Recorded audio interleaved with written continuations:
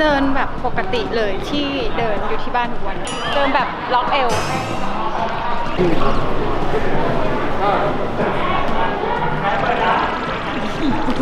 เขาเป็นใจเทปะเดี๋ยวฉันไปนี่เลยใส่สีพี่เจนเย่ฉันเป็นใครแป๊บนึงนะคะปักกี้ค่ะ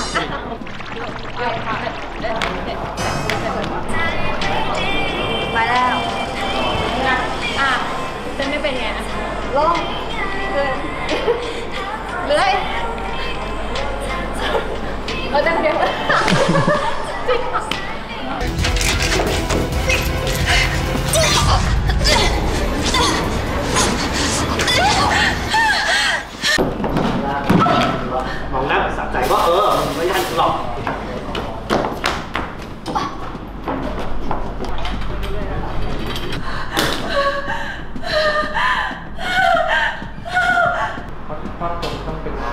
ก็เมื่อกี้เป็นซีนที่แบบว่า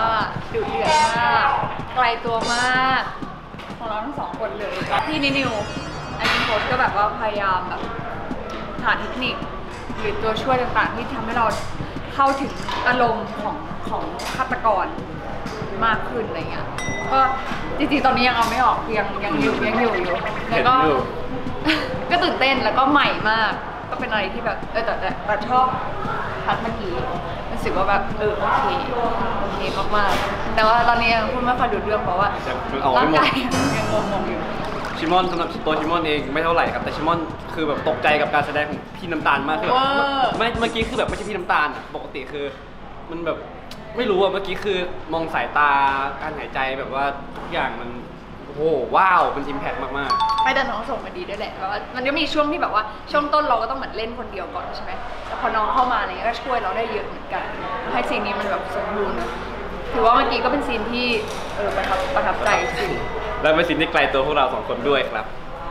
แต่ว่าความยากคือ ไม่ใช่เอาอารมณ์ออกนะคือเอาสีออกจากมืออ่าต้องจ่าเอาโอเคเอาอันนี้ออกแหละ